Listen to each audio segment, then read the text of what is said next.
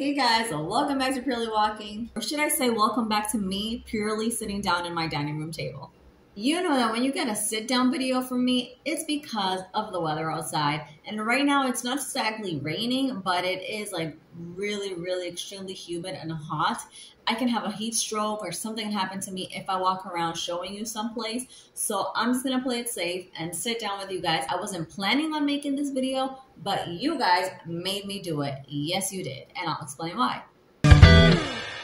So about three months ago, I made a video on Altos de Chabón, and one of you commented and let me know that a girl called La Gringa Latina made a video about leaving the Dominican Republic. I had no idea about this video. I had heard of La Gringa Latina. I'm not sure if I've seen like more than one or two videos from her, but this specific video I had no idea about. And one of you guys, one of my subscribers, actually commented below my video and told me about it.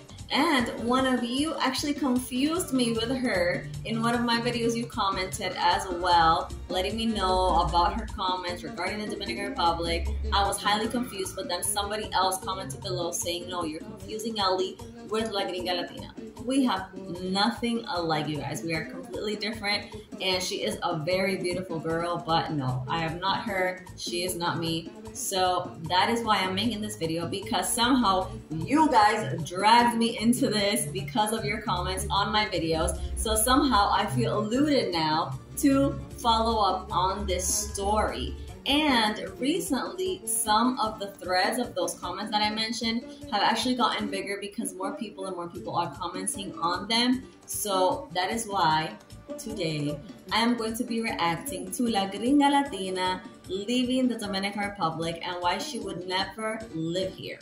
And not to toot my own horn, but I am fully Dominican and I have lived here for many, many, many years.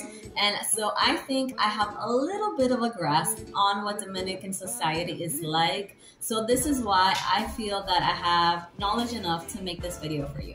Now for the record, it is hot outside, but you know you cannot grab away from me a cup of coffee. So I have my Cafe Santo Domingo over here. Don't judge me. I know it's hot and we still drinking coffee. It doesn't matter. I still love my cup of joe, like the gringos would say. Cheers. Guys, don't forget to subscribe to my channel if you haven't already. Did you know that there is a very high percentage of you that watch my content without being subscribed?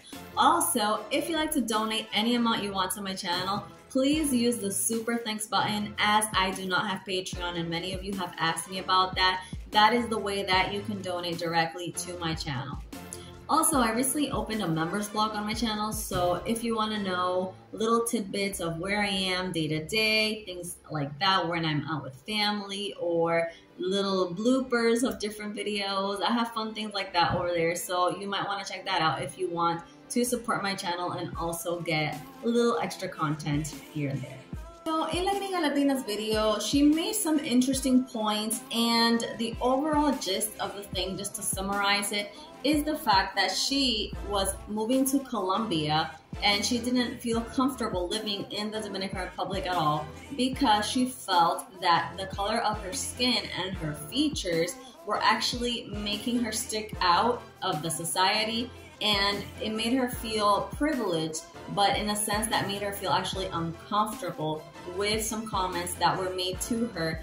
And so she felt like she needed to go to another Latin American country where she felt that she didn't stick out as much. Una de las razones, pues la razón principal, porque a mí no me gustaría vivir aquí. Yo nunca jamás quiero sentirme que estoy rodeado de una sociedad que me me trata con un privilegio que no debo tener. Now, like I said, she did make some interesting points in her video, but there are some things that I did not agree with, and I'm not trying to bash on her or anything, but simply things that I simply don't agree with. First of all, she starts out by saying that she does like the Dominican Republic and the culture and the vibe of the city and things like that. She does enjoy being here, but um, she goes on to say that it is very, very hot. And then she starts talking about the issue of race and colorism. Si estoy hablando honestamente, a mí me gusta más la cultura dominicana sobre la cultura colombiana. Eh, aquí hace mucho calor, por ejemplo. Básicamente con este video quiero entrar al tema explicarles tales la razón y estoy abriendo un tema un poco controversial. She starts off by saying that the racism and the colorism issue in the Dominican Republic has a lot to do and is tied to our historical context. Este país tiene una historia bien complicada dentro del tema de la raza y el sentido antinegro a través de generaciones. And I think she has a point there. We actually have a very convoluted and very, very confusing history with especially Haiti, France, and Spain. And so, if you read up on Dominican history, I think you would understand a little bit more uh, with regards to uh, certain animosity between Haitians and Dominicans. But she does go on to say something that I do not agree with or ca- that can be taken out of context, and is the fact that what she says implies that the Dominican Republic is the perpetrator of the racism against Haiti and that we are the ones that have conformed this um, society of racism against the Haitians. Históricamente, la República Dominicana ha creado un ámbito de conflicto y anti-haitiano para ese inmigrante haitiano y ese querer de quitarse del negro de, de este país. But she does leave out the fact that it was Haiti that tried to invade Dominican Republic plenty of times and our national independence, guys, Dominican Republic's national independence is from Haiti, not from Spain, as some people would have it. So basically, Haitians tried to invade our country and us Dominicans trying to defend ourselves will try to rid them off. But what she did mention about Trujillo and the massacre against the Haitians was very, very real. But there is a reason why Trujillo was killed, you guys. Everybody rejected his way of doing things, and I don't think there is anybody in this country that agrees with that massacre and what occurred in that time. But to put it into context, what you do have to understand is that Dominicans never invaded Haiti. It was always Haiti trying to invade us. And even though we do have correct and um, formal diplomatic relations and all of that, that history still kind of stirs up some feelings, if you know what I mean. So that is the historical context. I encourage you to read up on it because Dominican Republic history is quite, quite impressive. It almost seems like a telenovela or something like that. Um, so it is very confusing. A lot of back and forth. You know, there's Spain involved, there's France involved, then there's the actual Haitians involved, and then there's Dominican patriots involved.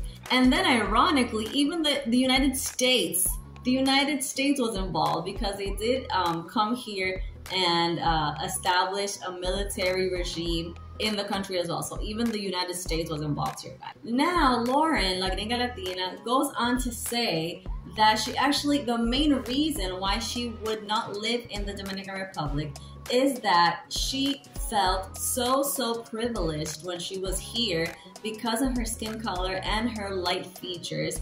And the comments that people will make as she walked by made her truly uncomfortable.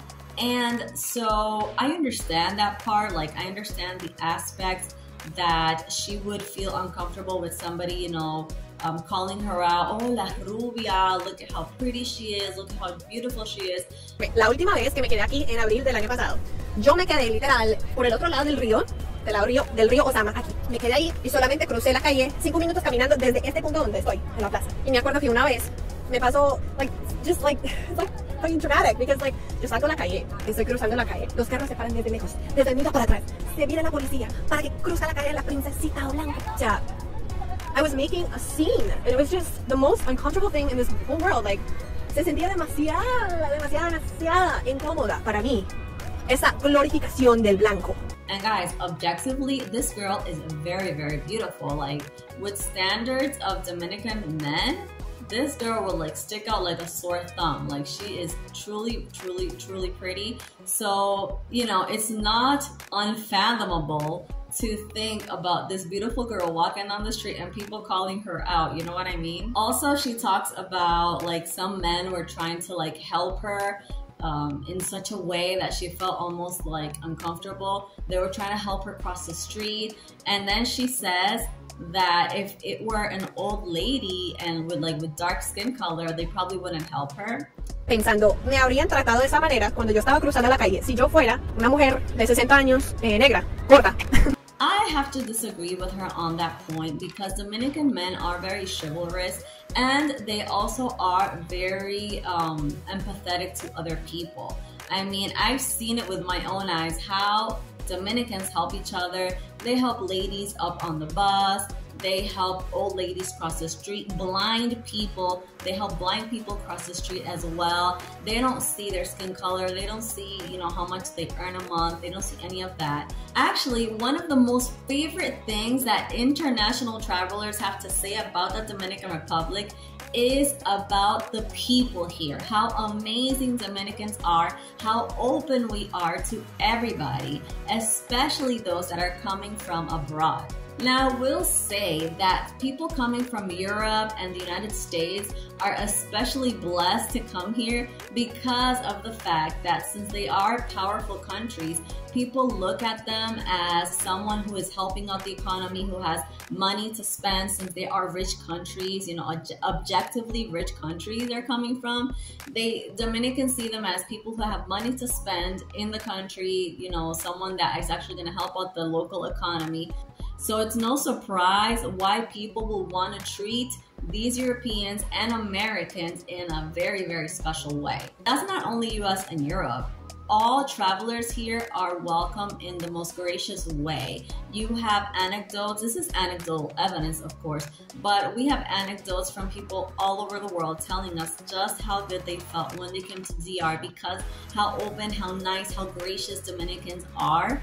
And actually, I looked up the video of La Gringa Latina herself and in that video, in her video, there were Argentinians, Venezuelans, people from all over the world talking about how awesome Dominicans are and how she was maybe misinterpreting those comments that were made to her.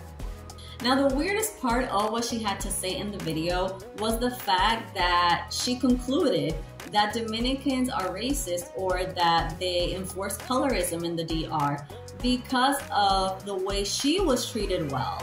So it's kind of like a backwards thing. So because she was treated well, she concluded that obviously people from dark skin colors were treated badly.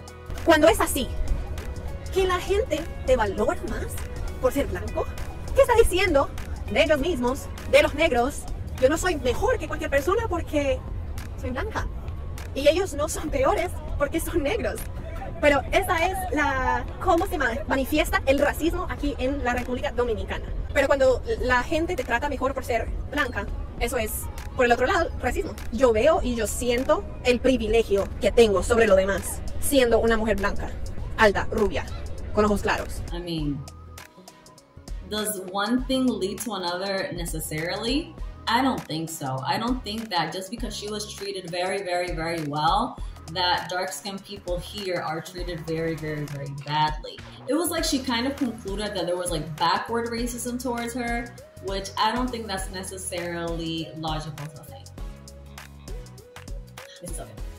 So you guys, this girl is completely free and everyone is completely free to move to whatever country they feel comfortable in. But to put out these kind of statements in a video with her thousands and thousands of subscribers didn't seem really necessary to me because a lot of expats are actually watching her video and getting some information and that might actually impact our tourism. So I'm making this video just to let you know if you are an expat that are uh, moving to DR or you're wondering about life in DR, just know that you will most likely be treated in the most marvelous way when you come here. And I want all my subscribers to comment down below if what I'm saying is true or false because I know that people here are loving and very open and very happy to receive people from abroad, especially expats from the US, from Europe, and from all over the world, actually. Another point I would make is the fact that her anecdotal experience